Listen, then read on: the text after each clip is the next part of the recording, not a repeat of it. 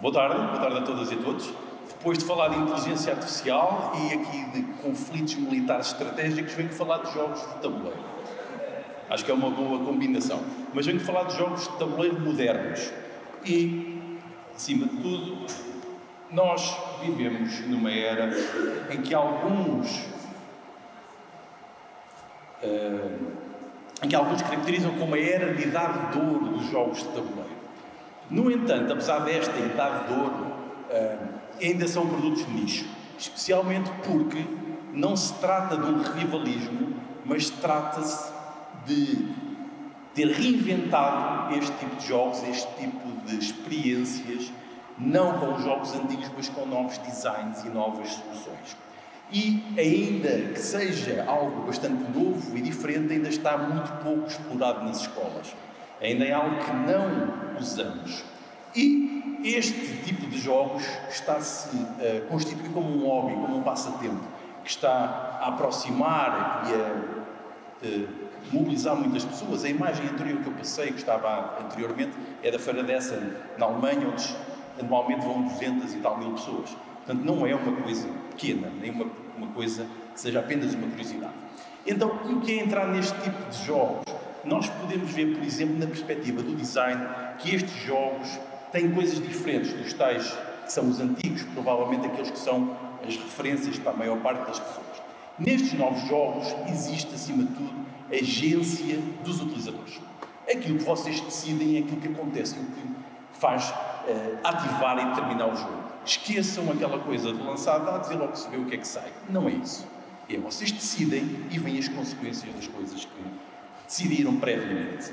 E acima de tudo, estes novos jogos são possíveis e podem abordar muitas narrativas porque têm novos mecanismos e com esses mecanismos combinados que nós podemos fazer jogos mais interessantes.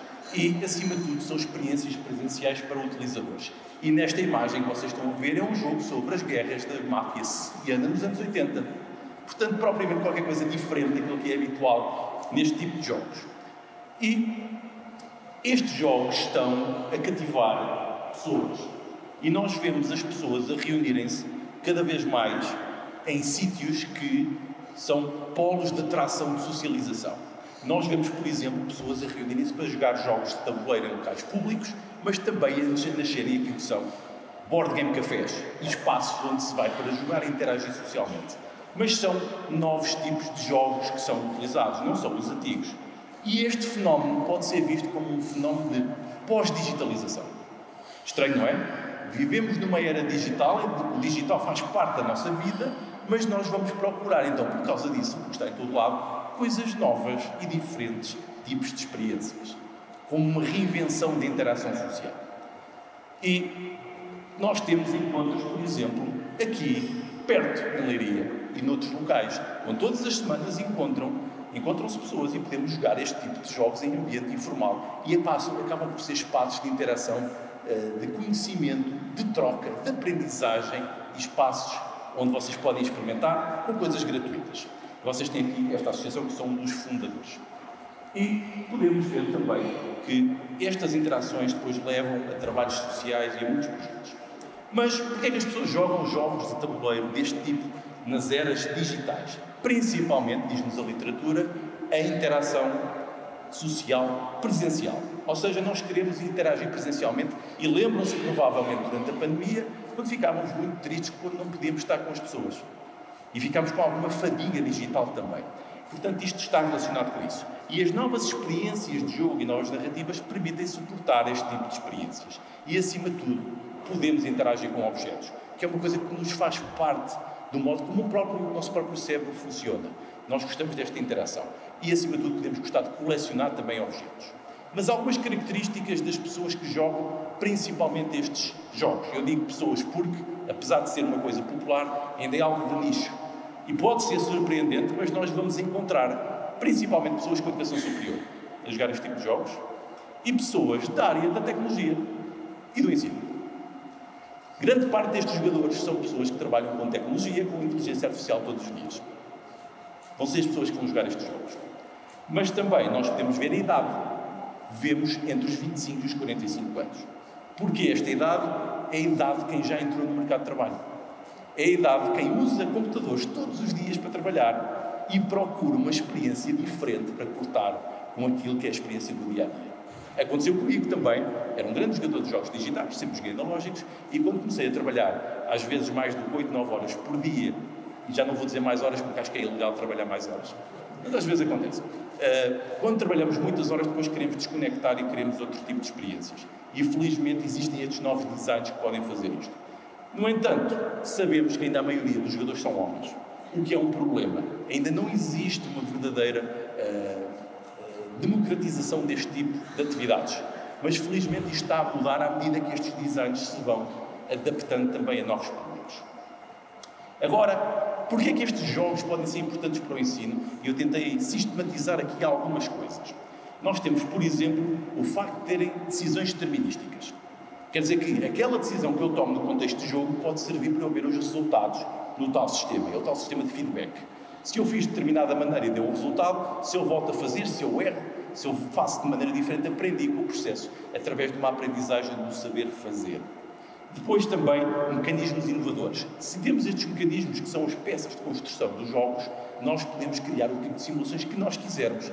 Lembram-se do jogo que eu falei sobre uh, máfia? Pode ser sobre o que vocês quiserem, pode ser sobre agricultura, pode ser sobre exploração espacial, o que for, tudo é possível.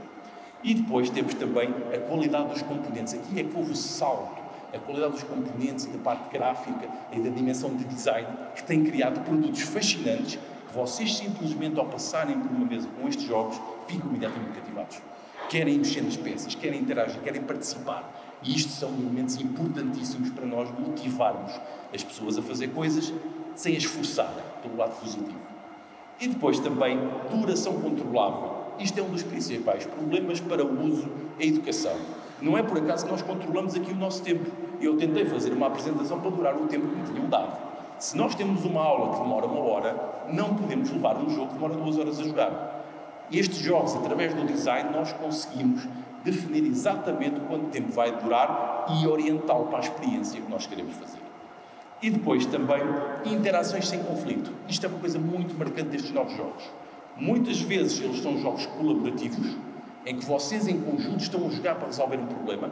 Por exemplo, um dos mais famosos é o Pandemic, em que vocês estão a colaborar para controlar pandemias que estão uh, a destruir parte do mundo, por exemplo, ou outras catástrofes. Temos ter muitos exemplos. Mas, acima de tudo, também a noção de eliminação do jogador.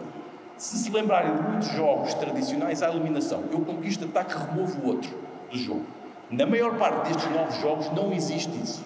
Os jogadores permanecem no jogo quase todo o tempo, ou todo o tempo, e depois vamos ver então a performance de cada um ou do grupo. Isto faz com que não excluamos as pessoas da aprendizagem. Não faz, para mim não faz sentido que estejamos a desenvolver uma atividade educativa e estejamos a excluir os alunos ou os formandos da atividade. Portanto, este elemento de design é muito importante. E depois também temas e narrativas variadas com experiências, porque quando dizemos eu gosto de jogos, mais ou menos. Eu gosto de alguns jogos. Como qualquer outra arte ou mídia, nós gostamos de certos tipos de experiências. E alguns jogos proporcionam alguns tipos de experiências. Portanto, o nosso perfil de preferência e de experiência prévia vai-nos sempre orientar para o tipo de experiência que nós queremos num jogo. Portanto, dizer que gostam de jogos em si pode não significar muito, porque podem estar a referir apenas a um tipo específico de jogo. E há muitos para todos os perfis que podem imaginar. E algumas metodologias, agora de modo de tentar ser simples para aplicar aqui aos conceitos educativos. Temos a aprendizagem baseada em jogos, o Game-Based Learning, em que jogamos um jogo e através de qualquer jogo podemos estabelecer objetivos de aprendizagem, daí existir, por exemplo, uma escolha prévia do jogo que vamos usar, mas temos dentro destes, destas possibilidades a gamificação. O que é, que é gamificação? É quando pegamos em elementos de jogos e introduzimos em coisas que não são jogos. Poderíamos ter gamificado esta sessão, por exemplo, para fazer networking. Podíamos ter feito uma série de sistemas que, que motivava as pessoas a falarem umas, outras, umas com as outras para progredirem ou para atingirem certas coisas. Isto seria uma gamificação sem ser um jogo. Agora, temos também os jogos sérios, ou os serious games, que é aquilo que eu costumo fazer mais, que é, existe um requisito prévio que nos é dado. Imaginem, eu quero um jogo para falar da erosão costeira e das alterações climáticas, que é, por exemplo, uma coisa que estou a trabalhar agora. Então, com estes requisitos, eu vou fazer um modelo de jogo que vai abordar este tema e vai permitir aos jogadores, como agentes autónomos, participarem e verem as implicações deste sistema, das decisões difíceis, por exemplo, que têm que tomar. Esta é uma possibilidade e isto é uma abordagem. Do modo mais sistemático, mas sem ir muito a fundo, porque isto pode ser complexo. Imaginem que há um designer de jogos, que é designer de jogos não é aqui quem faz o design estético, é quem faz o conceito do jogo, o sistema. Muitas vezes é matemática também. E este designer define as mecânicas e narrativas. É como se fossem as peças de construção. Vai montar mecânicas e narrativas para construir o jogo. E esse jogo chamemos-lhe sistema de jogo. Esse sistema de jogo é aquilo que vai permitir ao jogador tomar decisões. Vai interagir com ele, os inputs. Este sistema resolve as coisas e é constituído por tais mecanismos, que é o que vocês veem ali. E estes mecanismos, depois de ativados pelo utilizador, geram dinâmicas, são sistemas dinâmicos, por isso é que os jogos nos cativam, respondem àquilo que nós fazemos, não são estáticos. E depois isto devolve as experiências. Ou seja, o utilizador, ao ativar um sistema que pode ser uma máquina, a máquina vai trabalhar, vai funcionar e vai devolver uma experiência. E essa experiência é o resultado do jogo. E este resultado do jogo relaciona-se com a aprendizagem quando fazemos o design orientado para isso. Quando ligamos as mecânicas do jogo com as mecânicas de aprendizagem. E depois, obviamente, que isto é acompanhado por professores e educadores, e depois deve de haver aqui uma avaliação e é feito por ciclos. Ciclos de avaliação e ciclos de jogo, que depois se relacionam com a progressão que nós podemos ter no jogo ou não, os chamados níveis do jogo. E, obviamente, há sistemas de feedback. E uma das grandes vantagens desta avaliação por jogos é que nós temos a noção de quanto é que estamos a progredir ou quanto é que nos estamos a afastar do que era suposto. É um bocado uh, como evitar o facto de fazer uma avaliação no ensino formular, uh, regular e depois têm a nota do teste e depois já não têm posso melhorar. Tarde demais, chumbar. Nestes métodos por jogos nós podemos ver o nível de progressão em que estamos e estamos a tempo de repetir e renovar e aprender com o processo. Não é um tudo ou nada. E podemos mudar totalmente a forma como fazemos as avaliações e as aprendizagens. Com uma progressão e com algo que é transparente, nos dá feedback e sabemos em que ponto é que estamos. Ou, como por exemplo, um exemplo de emprego. Provavelmente sabemos que perdemos o jogo quando fomos despedidos. Não tivemos o tempo de preparação para perceber em que estado é que estávamos. E os jogos dão esse tipo de abordagem. Mas para fazer este tipo de coisas é preciso dominar o design de jogos. Se há uma coisa que pode ser má, é começarem a criar jogos sem terem este conhecimento de design prévio, porque dificilmente vão fazer alguma coisa que seja relevante. E para isso, uma das formas é identificar os mecanismos, as peças de construção. É como se estivéssemos a construir um edifício e não conhecêssemos os nossos materiais de construção. É a mesma coisa. E depois, conhecendo estes materiais de construção, nós devemos estabelecer relações entre os tais mecanismos, as peças de construção e aquilo que são os mecanismos e as narrativas sérias do jogo. E então conseguimos ligar à aprendizagem. E com isto podemos relacionar aquilo que sai do sistema, que são as experiências, com aquilo que são as coisas que nós queremos transmitir. E é esta relação que pode fazer com que estas coisas todas funcionem. Estou aqui a alguns exemplos de mecanismos isto está associado a algumas publicações que eu estou neste momento a desenvolver e nós podemos ver estes, estes esquemas abstratos, mas que no fundo são aqueles elementos de construção dos jogos, como movimentos padrões, como troca de recursos, como combinações de conjuntos, todas essas coisas. E alguns exemplos. Isto, eu tenho dado algumas aulas de game design, alguns cursos em algumas universidades, e levei a que tivesse que gamificar o meu próprio processo de aprendizagem para que as pessoas aprendessem a fazer jogos. Um bocado estranho, não é? Mas nada como usar a nossa própria técnica para uh, implementar a técnica. E este foi um dos workshops em que vocês veem aqui uma metodologia analógica de configuração desses sistemas de jogos, e isto foi durante a Vienna Con. Depois vem esta mesma metodologia aplicada na Foundation of Digital Games, que é uma das principais conferências do mundo de jogos digitais, em que também estão a usar esta mesma metodologia com quadros de análise para fazer também, criar sistemas de jogos. E depois vemos aqui, isto também já é no University College Dublin, é que estamos a usar uma metodologia mais simplificada para os professores construírem estes sistemas lógicos que vão ser as bases dos jogos. Depois, este é um dos jogos que resultou, que eu desenvolvi, que é um jogo sobre erosão costeira, em que os utilizadores estão a tentar proteger as populações, tomar decisões quais é que vão ser afetadas, quais é que podem ficar no local que vão exigir investimento de medidas pesadas ou mais leves ou mais naturais, para perceber que este sistema é qualquer coisa que tem decisões difíceis. Este é um exemplo de um jogo prático. E exemplo aqui de outro, outro jogo sobre sustentabilidade que eu também criei, foi testado em vários sítios. Neste caso é uma imagem da, da, da, da, da Faculdade de Ciências e Tecnologia da Universidade de Coimbra, em que é um jogo sobre sustentabilidade territorial, em que nós temos de distribuir recursos por várias densidades de populações. E o jogo está feito para uh, abordar as questões da desigualdade, em que os recursos não forem distribuídos de forma eficiente, vai gerar desigualdade no território. Portanto, um jogo para abordar essas questões.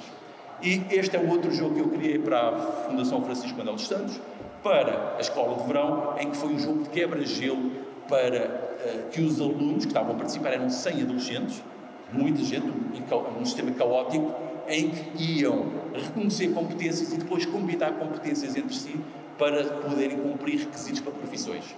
E isto foi um sistema caótico, mas que funcionou e que permitiu chegar a essa consciência das competências, das combinações e que o sistema em si favorecia que eles interagissem, porque era o início da escola de verão e eles precisavam de se conhecer antes de entrarem nos trabalhos de curso. Portanto, múltiplos objetivos, múltiplas camadas que podem ser feitas no mesmo abordagem. Isto já é um outro jogo para crianças do ensino básico em que estão a fazer logística de distribuição alimentar pelo território, também para perceberem que a comida só chega à nossa casa se tiver que ser distribuída e para isso há impactos ambientais, porque as coisas não são produzidas onde são consumidas. Portanto, uma coisa também simples para abordar esse tipo de uh, contextos, e este é um processo de design thinking de, em que crianças também do ensino básico estão a representar a sua escola, e é uma escola que está muito afetada por excesso de transporte privado, ou seja, demasiados veículos automóveis ocupam todo o espaço disponível à volta, incluindo os passeios, aqui através de mecanismos de Tetris, em que eles vão encaixando os carros até vir com mais espaço e depois podem substituir por modos de transporte mais sustentáveis que libertam espaço e então ficam com espaço para ter novas ideias para aquilo que querem na sua escola e à volta dela. Um exemplo de planeamento urbano colaborativo baseado em jogos orientados para crianças. E, em resumo, para tentar fazer aqui um resumo de tudo o que foi dito, que foi muita coisa, uh, e foi apenas uma breve introdução, eu diria que devemos usar os jogos para ter uma experiência entre o desafio entre, e o tipo de experiências que queremos criar e a relação entre a experiência do jogo e a experiência da aprendizagem com a noção aqui de jogar com algo que é progressivo. Progressivo em que vamos gradualmente dominando o sistema, interagindo com ele, aprendendo e assim também tendo consciência do nosso nível de progressão. Depois também que os mecanismos são as peças de construção dos jogos. Se conhecemos estes elementos de design de jogos, podemos construir muitas coisas, aquilo que nós quisermos. Mas acima de tudo também a noção de que para construir jogos é preciso jogar, tal como para escrever é preciso ser leitor. Mesma coisa. E depois também que os jogos são sistemas de simulação de experiências e mesmo se fizermos alguma coisa errada, aprendemos com o erro, uma vez que os erros vão ser o processo de aprendizagem e os jogos com o ambiente virtual vão nos permitir aprender com o que erramos e com o que fizemos eventualmente de mal e muitas vezes, em muitos casos, aconteceu isto. Jogos correram mal, que eles tiveram mau desempenho, mas isso serviu como o próprio processo de aprendizagem e isso é algo positivo e que para aplicar jogos é preciso, obviamente, ter conhecimentos de design de jogos. E era basicamente isto que eu tinha para vos apresentar. Fica aqui o meu canal de YouTube, os meus contactos e o meu website onde estão algumas dos projetos. Podem ver depois com mais detalhe destas coisas aplicadas. Obrigado.